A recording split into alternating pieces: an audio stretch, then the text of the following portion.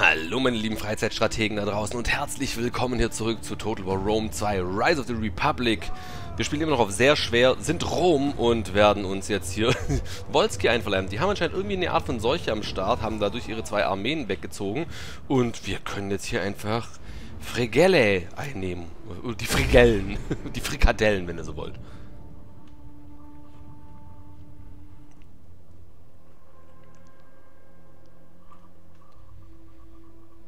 Und aufgrund der Tatsache, dass wir immer viel zu viele Verluste erleiden, wenn wir das die KI machen lassen, spielen wir diese Schlacht jetzt natürlich auch mal selbst. So, das hier wird äh, ausnahmsweise mal meine Nummer 1. Dann stelle ich die Jungs hier direkt dahinter als Nummer 2.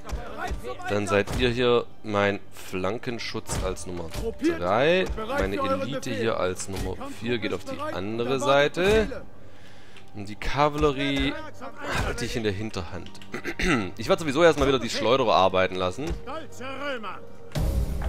So lange, bis mir was Wichtigeres, Besseres sonst irgendwie einfällt.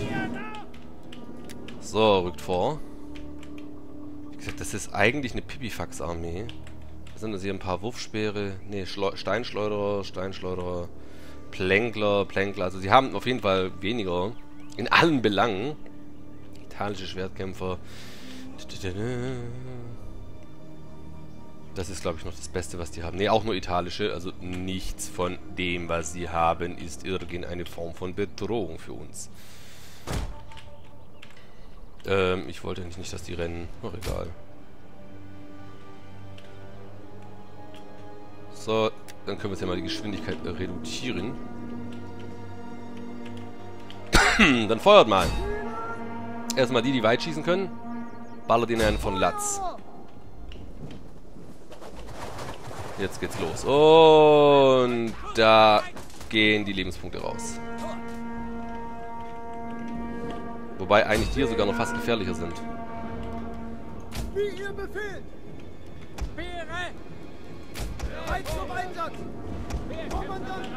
Ich lasse die jetzt mal schneller rankommen. Die müssen jetzt hier gleich eine Schutzlinie aufbauen. Oh, das wird aber langsam aber sicher brenzelig. Das nennen wir mal einen fliegenden Wechsel.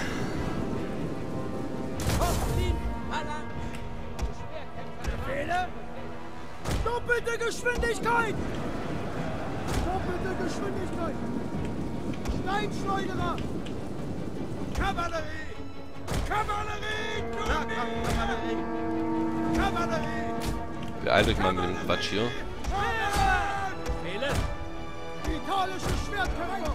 Gib schnelles Maschinen! Ich erwarte eure Befehle! Wäre bereit, bereit! Greift ihre Positionen an! Die fliehen schon. Wie praktisch. Wir machen jetzt Druck auf sie einfach. Das ist meine andere Kavallerie. Da. Tut irgendwie nicht das, was ich gedacht hatte, was sie tun soll.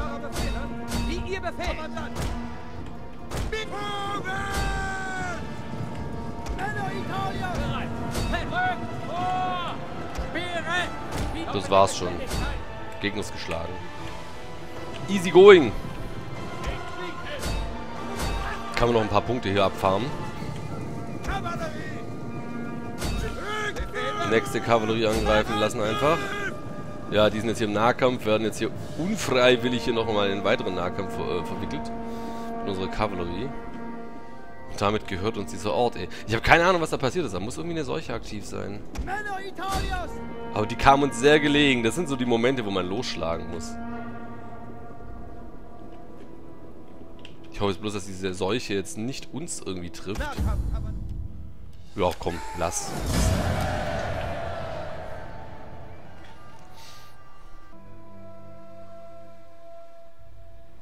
War jetzt nicht die epischste aller Schlachten, aber sie hat äh, ihren Zweck erfüllt. Wir haben selber fast keine Verluste erlitten, 54 Mann, und können das Ding jetzt hier einfach besetzen.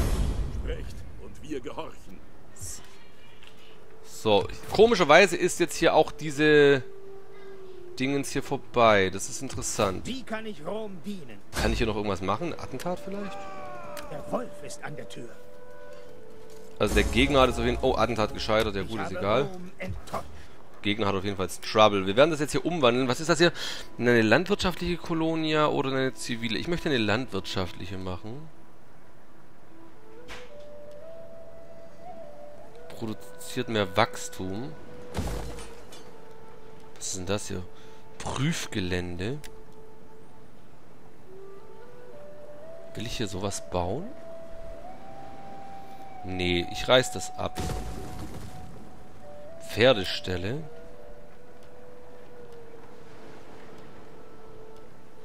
Ich mache eine reine landwirtschaftliche. Das hier wird einfach rein landwirtschaftlich. Wir haben auch nur noch fünf äh, Nahrung. Es macht schon durchaus Sicht, jetzt hier die Nahrung, ähm, also in die Zukunft zu denken, was unsere Nahrung angeht. Boah, das da drüben nervt mich total. Wie schaut's hier aus? Okay. Runde beenden. Wir haben übrigens jetzt die Forschung gleich durch, ne? Wir sind jetzt gleich, äh, wir haben jetzt gleich Triaria, so wie es aussieht, wenn ich, das, wenn ich mich jetzt nicht völlig Nun irre. könnt ihr mit eurer üblichen Geistlosigkeit über mein Volk herziehen, ehe euch der Tod holt. Echt jetzt? Warum erklären jetzt Neapolis mit dem Krieg? Bin ich denen zu expansionistisch? Werde ich denen zu stark? Scheinbar ist das so. Ähm, ja, äh, Forschung abgeschlossen. Etrurien bändigen. Was? Ihr habt die Technologie Weiterentwicklung erzielt, die euch einen Vorteil gegen euren Gegnern verleiht. Gerechter Krieg. Rang erhöht. Ja, ja. Standeskämpfe. Was? Wir haben jetzt gleichgültige Plebejer, aber sich verschwörende Patrizier. Steuersatz ist reduziert, Loyalität ist reduziert, okay. Obwohl sie so lautstark waren, schenken die Plebejer dem Präzisen nur wenig Beachtung, als er den Sküten aus der Stadt führt. Eure Informanten warnen euch, dass der gedemütigte Sklavenbesitzer nach seiner Rückkehr begonnen hat, seinerseits gegen euch aufzuwiegeln. Hm. Kann ich jetzt eigentlich diese Einheiten upgraden? Nee, kann ich nicht. Den Feind schlagen wir schon bald in die Flucht. Kann ich nicht. Das ist interessant. So, okay, Generalsdetails. Wir können den General verbessern. Äh, ich kann jetzt hier, wenn ich nochmal zu einem Krieg, besseren Krieger machen. Was ist denn das hier? Furchtlose Krieger. Das nehmen wir uns jetzt natürlich. Angriffs- oder nee, Belagerung interessiert mich nicht wirklich. Was haben wir denn da? Wir haben das hier angesehen. Autorität bei Aufstellung plus 10% Nahkampfangriff für alle Einheiten in lokaler Provinz. Hm. Bewegungsreichweite wird also heldenhaft.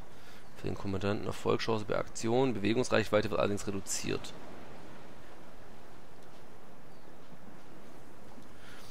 Sadistisch Nahkampfabwehr für alle schwere Infanterie. Warte mal, äh, jemand von euch hat gesagt, das würde dran stehen, was das für eine Art von Einheit ist. Recht, und wir gehorchen. Zenturien. Äh, du, du, du, Ach, da unten sieht man das ja. Ja, ja, warte mal. Das hier ist eine Hoplitenwand, diszipliniert, ne, ermutigen von. Ne, warte mal, wo, wo sehe ich denn das? Jemand hat gesagt, das kann man sehen. Ob etwas eine schwere Infanterie ist. Das Problem ist, ich sehe es nicht. Also ich gehe davon aus, dass die eindeutig eine schwere Infanterie sind. Ne? Also es wäre halt cool, wenn es dran stehen würde. Für jemand so ein Noob wie mich, der das seit Monaten nicht mehr gespielt hat. Genau genommen eigentlich seit Jahren. Pionier. Der Belagerungswaffen muss ich jetzt hier nicht verbessern. Oh, wir machen einfach das. Wir verbessern das, was wir schon haben. Wir sind die Männer Roms. Jetzt haben wir tatsächlich auch Krieg mit Neapolis. Neapolis ist nicht amüsiert darüber, dass wir hier so offensiv vorrücken können.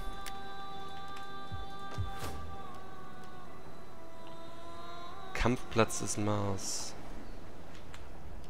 Also hier wird er gerade eben umgebaut.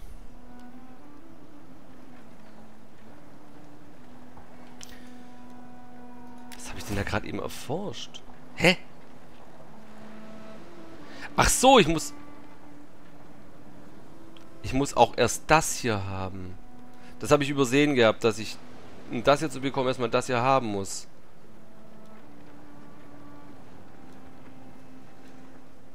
Dinge, die mich verwirren.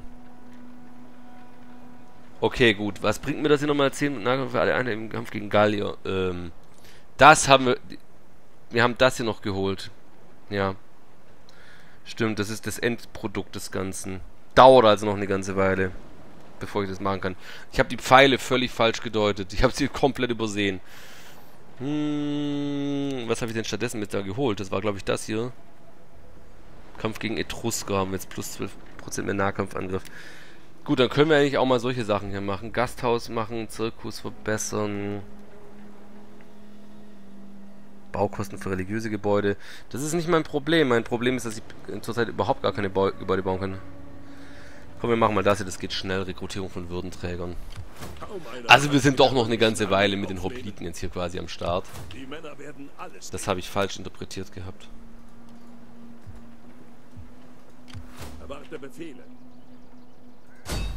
Ich nehme ihnen jetzt einfach ihre letzte Stadt. Los, fangt mit der Belagerung an.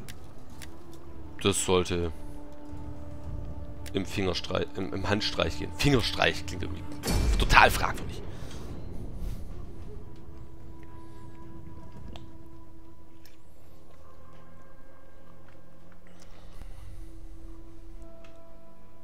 So, da sind wir auch schon drin. Der Feind hat hier eine wirklich nette Ansiedlung, das muss man ihm lassen. Und das ist auch genau der Grund, weshalb wir sie haben wollen, ne? Gruppiert und bereit für euren Befehl. Befehle? Netz, äh, Netze. Ich, was ist denn heute los mit mir? Ich setze erstmal jetzt hier wieder meine äh, Söldner ein, logischerweise. Die Kampfgruppe wartet auf euren Befehl. Die hier beschützen die Flanken. Die sind hier so direkt dahinter. Und los geht's. Steinschleuderer! Ich habe mein Leben Mars gewidmet. Da vorne ist der Gegner. Ich bereue nichts. Es ist Ehre und Schicksal für Rom zu kämpfen. Wir gehen jetzt hier hin und ballern sie einfach erstmal zusammen.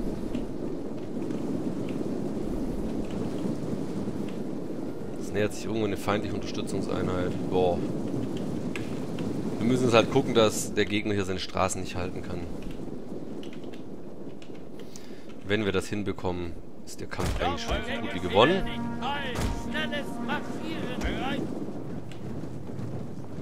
Muss das Ganze nur im Auge behalten, aber sieht eigentlich ganz gut aus.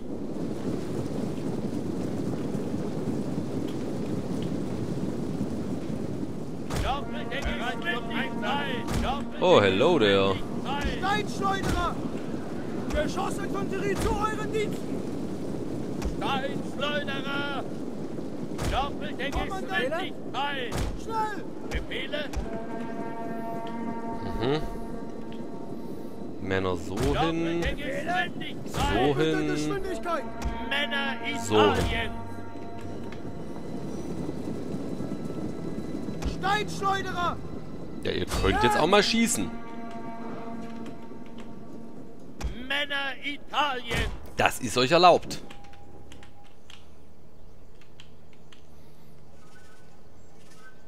Treffen die, oder? Ja, sie werfen. Und das spüren sie auch. Sehr gut. Dann arbeitet sie mal ein bisschen ab an der Stelle. Italische Schwertkämpfer! Dann lasse ich jetzt hier mal die noch weiter ranrücken. Die Schwertkämpfer dahin. Die Schwertkämpfer gehen dahin. Die Kavallerie soll jetzt mal hier komplett über die Flanke gehen. Alle beide den Fall, dass da hinten noch was kommt. Der Gegner akzeptiert gerade eben unseren Beschuss. Wir werden jetzt erstmal unseren Beschuss weitgehend aufbrauchen. Äh, nein. Will ich doch gar nicht. Steuerung ist immer noch so manchmal so ein bisschen tricky. Oh, die Kavallerie. Ich versuche gar nicht, das anzugreifen. Stellen sich jetzt einmal dahin und... Uff, werden tot gebombt. Nach einer Salve sind schon die Hälfte, drei Viertel der Männer raus. Steinschleuderer! So, die Plänkler. Oh shit, die Plänkler, die machen Schaden. Aber sie kassieren auch zum Glück ordentlich. Los mit denen. Geschossinfanterie, bereit! Ähm, Feind kommt. Bereit zum Einsatz. Feind kommt. Zumindest sieht so aus. Steinschleuderer. Schnell Geht dahin. Hier dahin. Wie gesagt, jetzt greifen wir mal an hier mit denen. Steinschleuderer! Schnelles Marschieren! Zu euren Diensten. Doppelte Geschwindigkeit. Hm. Nahkampfkavallerie! Da hinten kommt echt einiges auf uns zu. Wir sollten eventuell einen Teil unserer Armee darüber marschieren.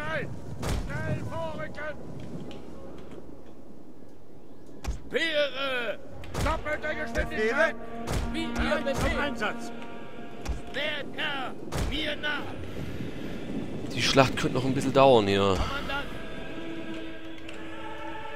Steinschleuderer! Schieß mal da hinten hin. Plänkler-Kavallerie, die kann ruhig mal draufgehen. Wir werden gleich sehen. Ja, sie schießen, sehr gut. Rums.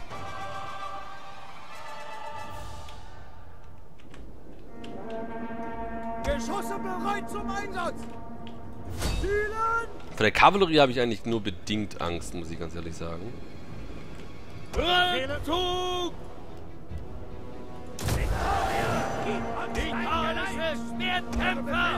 Diese Feiglinge. Haben auch schon einiges hier verloren. Ja, die Einheit ist leider tot.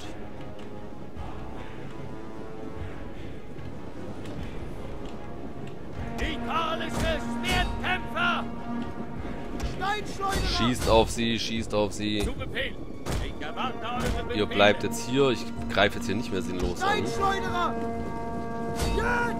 Einheimische Speerkämpfer. Mhm. Italische Schwertkämpfer. Steinschleuderer! Zu Befehl! Äh, die will ich doch gar nicht anwählen. Sie abwählen. So. Der Gegner hat diesen, dieses Feld hier geräumt. Das heißt, wir können hier vorrücken. Steinschleuderer! Schnelles. Marschieren! Geschwindigkeit. Dann tun wir das mal.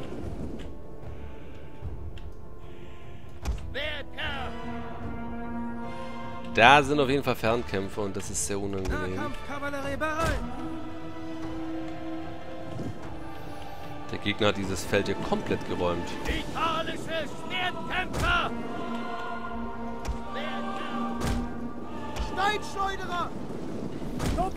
Da hinten.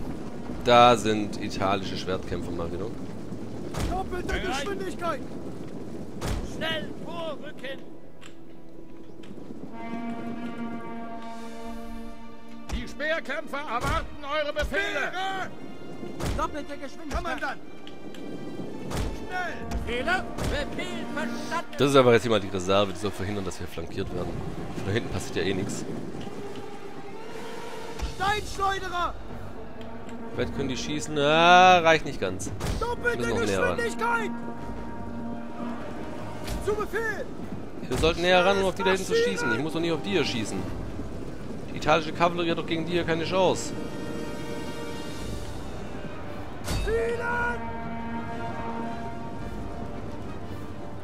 Halt. Gehen die denn schon hin? Man weiß nicht, was das soll.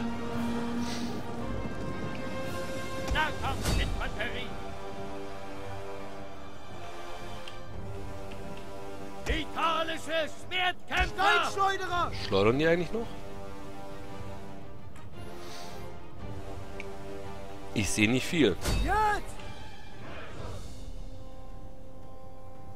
Die haben irgendwie aufgehört gehabt zu schießen. Ich weiß nicht warum. So, die Kavallerie ist erledigt. Befehle. Doppelte Geschwindigkeit. Steinschleuderer! Doppelte Geschwindigkeit! Bomben wir die Generalseinheit zusammen. Feuer. Feuert auf den Feind!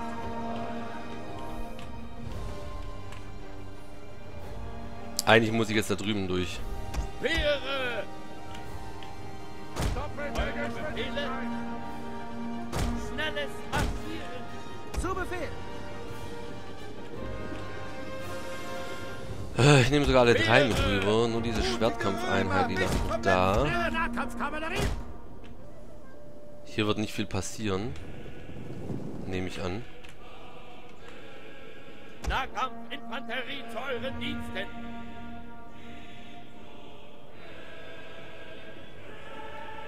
Italische Schwertkämpfer! Steinschleuderer! Einheit verliert, klar. Hm. Kann ich da irgendwas dagegen machen? Kriegsschrei?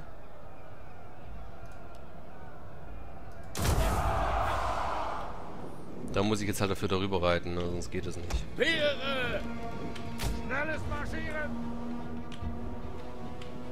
Gegner fängt an, jetzt hier seine Formation zu ändern. bereit,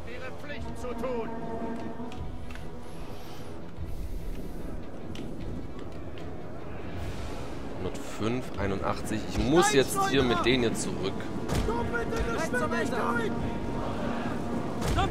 Schnell ran. Die halten hier nicht mehr lange durch, wie man sieht.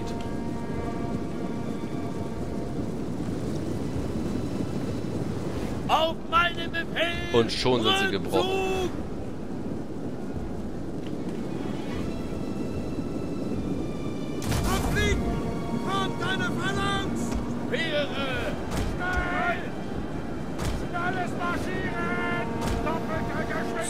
Jetzt haben wir wieder unsere Hoplitenphalanx. Wehrkämpfer bereit! Kostigen! Auf eine Phalanx! Und ihr müsst dringend hier auf diese Kl- Plänkler-Kavallerie schießen. Die geht mir nämlich gehörig auf den Keks. Befehle? Schnell! Befehle? Geschosse warten auf Ziele! Warte mal, ich habe doch hier Kavallerie. Jupiter gibt uns Attacke. Jetzt rücken wir hier vor.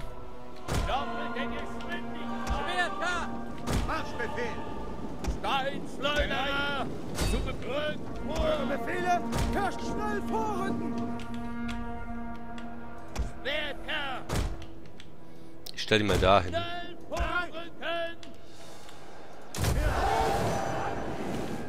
Söhne des Mars! Zu Befehl! Die sind erledigt. Sehr gut.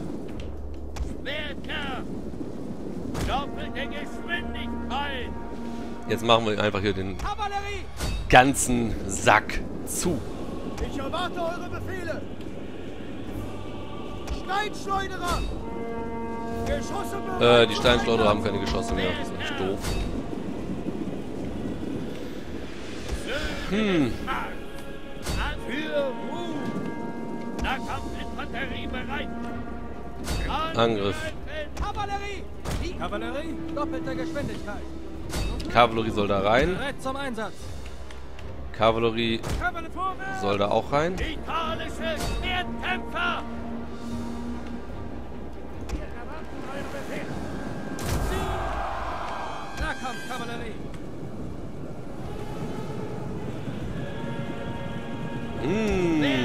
Jetzt wird Sandwich-like. Der neue römische Sandwich-Maker hier. Rückt vor! Durchbrecht die Linien! Gegner fängt an zu wanken.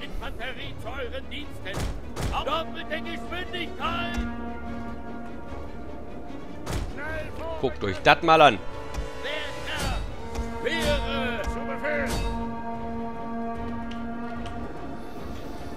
So, von allen Seiten jetzt hier eine ganze Menge Spaß produzieren, damit es sich auch gelohnt hat. Das war's.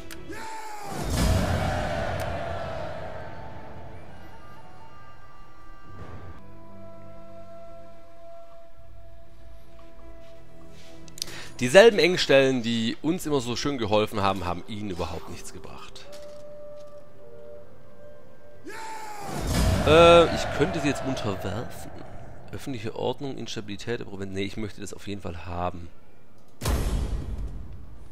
Wir sind die Männer Roms. Dann gehört mir nämlich das gesamte Gebiet. Ah ne, stimmt gar nicht. Nicht ganz. Das gehört mir nicht. Äh, ich kann das interessanterweise gar nicht umwandeln.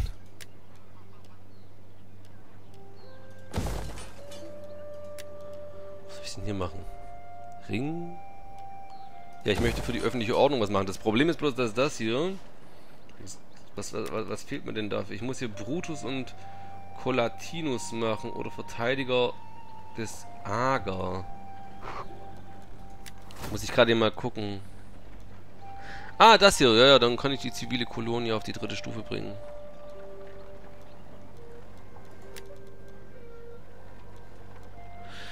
Na gut, das müssen wir auf jeden Fall äh, beim nächsten Mal machen. Was will ich denn hier jetzt noch machen? Bin immer noch nicht so ganz sicher. Treffpunkt. Ich möchte mehr öffentliche Ordnung. Wobei, das wird eine landwirtschaftliche Kolonie. Ich mache jetzt mal einen Tempel. Der gibt ja immerhin auch noch äh, öffentliche Ordnung und so, ne? Okay. Dann Diplomatie. Kann ich jetzt den Wolski jetzt halt nochmal irgendwie, keine Ahnung, so... Sagt uns eure Bedingungen. Und tut es schnell. Es gibt noch andere Dinge zu tun. Kann ich sie nicht irgendwie unterwerfen? Nicht Angriffspakt brechen, Handelspakt brechen, militärisches Bündnis. Nee, das geht ja komischerweise gar nicht. Okay. Das geht komischerweise gar nicht. So, und was ist jetzt hier mit Neapolis? Neapolis hat ja wohl einen Vogel. Ja, Krieg mit Neapolis, den sie mir erklärt haben. Seid gegrüßt. Verschwendet keine Zeit mit Oh, die wollen Frieden. Worten. Die hättet ihr mit Baden verbringen sollen.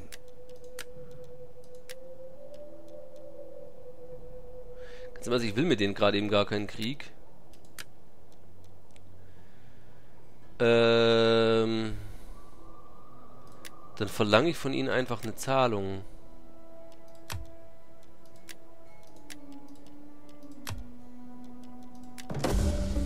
So, Sehr gut. we did it. Zwei Fliegen mit einer Klappe haben wir geschlagen. Das hier ist jetzt noch eine Armee von denen, sogar deren König. Der kann doch jetzt hier noch Fregel angreifen, aber der wird das so oder so ziemlich bereuen. Wenn er das jetzt hier nämlich noch erobert, haben wir ihn auf jeden Fall in der Falle.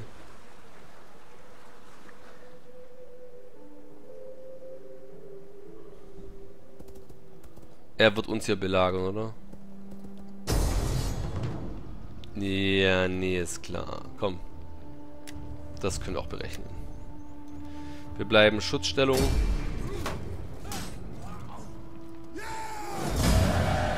Das hat uns zwei Einheiten gekostet, aber er ist im Grunde erledigt. Wir lassen die hier frei. Und die sind jetzt bald zu nichts mehr in der Lage. Triumph! Yay! Wieder ein Triumphzug. Und ich würde aber mal sagen, mit diesem Triumphzug, meine lieben Freunde, verlasse ich euch. Naja, wobei, nee, natürlich nicht. Wir sollten ja nochmal ganz, ganz kurz gucken, was in dieser Runde noch auf uns zukommt, oder? Aber ich finde diese Videos cool. Unser Kommandant ist halt wirklich ein saumäßiger Held für Rom. Boah, das vermisse ich echt bei den nachfolgenden Spielen. Gerade bei Warhammer und so hätte man dann eine ganze Menge machen können.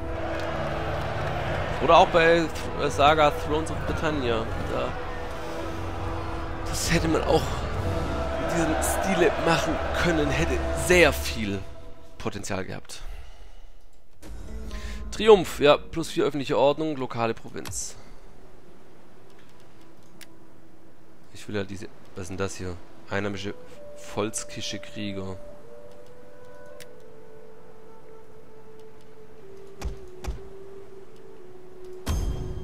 Gesagt, ich arbeite hier weiter noch mit diesen Söldnern. Die sind jetzt da drüben. Ey, ohne Witz, die können ja gar nichts. Das sind ja... Das kann man ja nicht mal Gegner nennen. Was da auf uns zukommt. Na gut, meine lieben Freunde, da würde ich mal sagen, wir werden uns beim nächsten Mal überlegen, wie wir jetzt hier mit denen hier fertig werden. Wer ist denn das hier nebenan? Das sind die Pählinger. Kann ich mit den Pählingern irgendwas... Ne, die finden uns voll kacke. Die finden uns voll kacke. Ach, das sind... Ah, oh, guck mal, wer unser potenziell nächster Feind ist. Die haben Krieg mit den Hernikern. Die Herniker finden uns gut. ich weiß, wer beim nächsten Mal leiden wird, weil die haben Eisen und das brauchen wir. Okay, meine lieben Freunde, damit verabschiede ich mich an dieser Stelle. Macht's gut, bis zum nächsten Mal, schöne Zeit. Tschüss und ade.